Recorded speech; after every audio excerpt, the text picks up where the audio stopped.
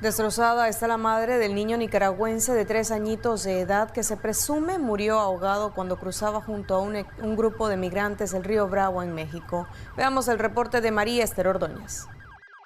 La madre del niño nicaragüense de tres años de edad que se presume murió en el río Bravo expresó a un periodista mexicano que está completamente destrozada al no encontrar a su hijo a quien identificó con el nombre de Allington Alvarenga Madrigal, según relató la progenitora, ella también ingresó al agua, pero como se estaba ahogando, decidió regresar a la orilla y a su niño lo llevaba un amigo.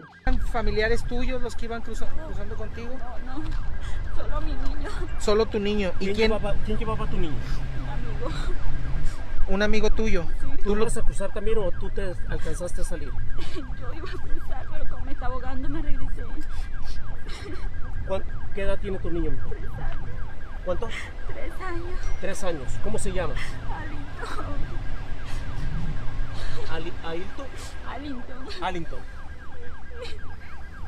La señora que se identificó como Jamie Madrigal fue apoyada por un periodista que utilizando un dron mostró imágenes de personas que permanecen bajo custodia de la patrulla fronteriza del lado de Estados Unidos, pero dijo que no reconocía a nadie de los que estaban ahí y que no observaba a su hijo. Él, él está viendo aquí. Eh, ¿estás viendo? Sí, con el dron. Vamos a hacer una toma más, vamos a acercarnos un poquito más hacia los Estados Unidos con todo cuidado que no podemos invadir la tierra americana, pero sin embargo podemos hacer un acercamiento con la cámara del zoom del dron para ver si lo tienen ahí, pero lamentablemente ella no reconoce a nadie de las personas que tienen ahí. Ahí podemos apreciar el zoom del dron. Hay un pequeñito ahí, pero ella no lo reconoce como el de ella. ¿No, ¿no ves qué puede hacer él? Está mucho más pequeño que las personas que están ahí. Sí, tiene tres años. Es chiquito. ¿Quién más venía de tu familia? Solamente él. ¿Él y tú nada más? Sí. Ahí, ¿Dónde esa... vienen? ¿Desde dónde vienen, amiga? Nicaragua. ¿Esa niña no la reconoces? ¿No iba en tu grupo? Entonces las personas que iban contigo no están aquí.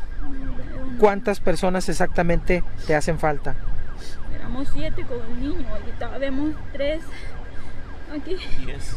Diez adultos y cuántos niños? No, no, no. Siete con el niño.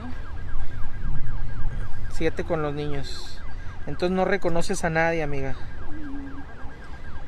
El pequeño de tres años continúa desaparecido junto a cuatro personas.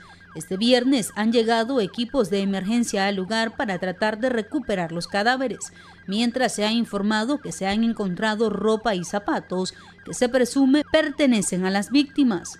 María Esther Ordóñez, Acción Día.